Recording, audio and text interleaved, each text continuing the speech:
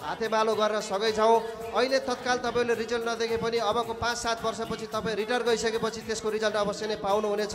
यसमा कोही दुविधा छैन। भन्दै यस आयोजक टिमलाई मलाई पनि यहाँ समाजको तर्फबाट कास्की आदर्श समाजको तर्फबाट एउटा निमन्त्रणा दिएर दुई शब्द राख्ने मौका साथै एउटा यो सामूहिक उद्यमशीलताको एउटा प्लेटफर्म बिच बजार र आरकेडी बन्दीपुर केबुल कार जस्ताको सानो परिचय दिने अवसर दिनुभएकोमा यहाँहरूलाई हार्दिक धन्यवाद दिँदै म स्टेजबाट बिदा हुन चाहन्छु। हस्त धन्यवाद। धन्यवाद। उहाँ हुनुहुन्थ्यो कास्की सेवा समाजका अध्यक्ष अमर सापकोटा बिच बजार बन्दीपुर केबल कार आरकेडी। उहाँका धेरै धेरै उद्यमहरू छन्। तपाईँहरू पनि जोडिन चाहनुहुन्छ। तपाईँले परदेशमा गरेको श्रम कतै लगानी गर्न चाहनुहुन्छ भने अवश्य पनि उहाँले तपाईँहरूलाई धेरै धेरै सहयोग गर्नुहुनेछ। आजको यस कार्यक्रमका प्रमुख अतिथिज्यू विशिष्ट अतिथिज्यू र सम्पूर्ण अतिथिज्यूहरूमा मोरङ सुशेष समाज साउदी अरबको तर्फबाट हार्दिक नमन।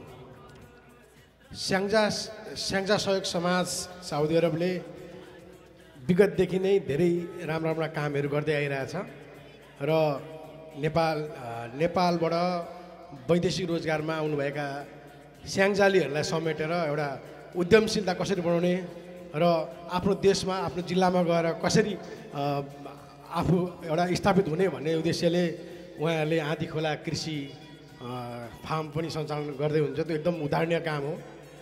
उहाँहरूलाई त्यसको विषयमा धेरै धेरै धन्यवाद। र अब अब बन्ने कार्य समितिले त्यो कार्यलाई पुरा गरोस्। यही शुभकामना दिँदै अब यसलाई यही टुङ्गाउँछु धन्यवाद। अब हामी औपचारिक कार्यक्रमको अत्यन्तै अन्तिम अन्तिम चरणमा आएका छौँ। त्यस पछाडि हाम्रो बन्द सत्र हुनेछ। बन्द सत्रपछि नयाँ कार्य समिति चयन हुनेछ र साङ्गीतिक धमाका छँदैछ। तपाईँहरूका साथीहरू यत्रतत्र हुनुहुन्छ भने अब साङ्गीतिक धमाकाको लागि निमन्त्रणा गर्दै गर्नुहोस्। यस्तै गरी शुभकामना मन्तव्य दिनको लागि एनआरएनए आइसिसी सदस्य हुनुहुन्छ र एक्काइस तेइसको लागि आफ्नो महिला केन्द्रीय उपाध्यक्षको लागि।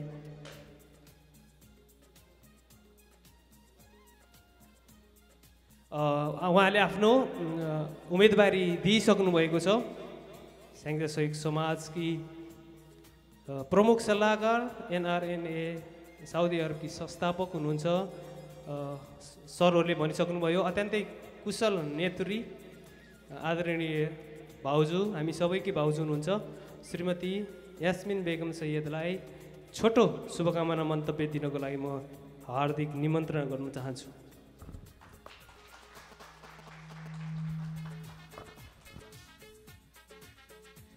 धन्यवाद कार्यक्रम सञ्चालक टिका केसीज्यू। आज स्याङ्जा सहयोग समाज साउदी अरबको चौथो महाधिवेशनका सभापति भाइ पारस काफ्लेज्यू हाम्रो कार्यक्रमका प्रमुख अतिथिको रूपमा दूतावासबाट पाल्नुहुने कार्यवाह कुमार पौडेलज्यू। यसै गरी स्टेजमा रहनुहुने विशिष्ट अतिथिजनहरू र कार्यक्रम हलमा उपस्थित रहनुभएका विभिन्न सङ्घ संस्थाबाट प्रतिनिधित्व गरेर आउनुभएका पदाधिकारीज्यूहरू प्यारा दिदीबहिनीज्यूहरू तथा साना साना भाइ बहिनीहरूमा पनि म यास्मिन बेगम परिचयको क्रममा सधैँ जसो मैले भन्ने शब्द म पाल्पाको छोरी र स्याङ्जाको बुहारी भन्न मन पराउँछु। तपाईँ सम्पूर्णलाई आजको यस कार्यक्रममा पाल्नुहुने मिडियाकर्मी पत्रकारज्यूहरू लगायत उपस्थित सम्पूर्णमा यस स्याङ्जा सहयोग समाज साउदी अरबको प्रमुख सल्लाहकार तथा गैर आवासीय नेपाली सङ्घ अन्तर्राष्ट्रिय समन्वय परिषदको निमित्त आगामी कार्यकाल दुई हजार एक्काइस तेइसको महिला उपाध्यक्षको रूपमा म प्रतिनिधित्व गर्दै महिला उम्मेद महिला उपाध्यक्षको पदमा रहेको हुँदा म मेरो व्यक्तिगत तर्फबाट स्याङ्जा सहयोग समाज साउदी अरबको तर्फबाट लगायत गैर आवासीय नेपाली सङ्घ अन्तर्राष्ट्रिय समन्वय परिषदको तर्फबाट तपाईँ सम्पूर्णलाई न्यानो अभिवादन तथा स्वागत गर्न चाहन्छु। सर्वप्रथम आज लामो समय पश्चात हामीले यसरी हामीले भन्दा पनि मैले धेरै लामो समय पश्चात यसरी ओपन फ्लोरमा कार्यक्रममा तपाईँहरूसँग साक्षात्कार गर्न पाएको छु।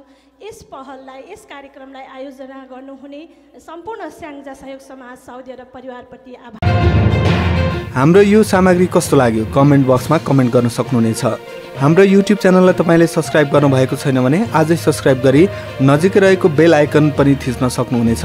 यसले गर्दा तपाईँले हाम्रो विभिन्न भिडियोको अपडेट सजिलै समयमा प्राप्त गर्न सक्नुहुनेछ।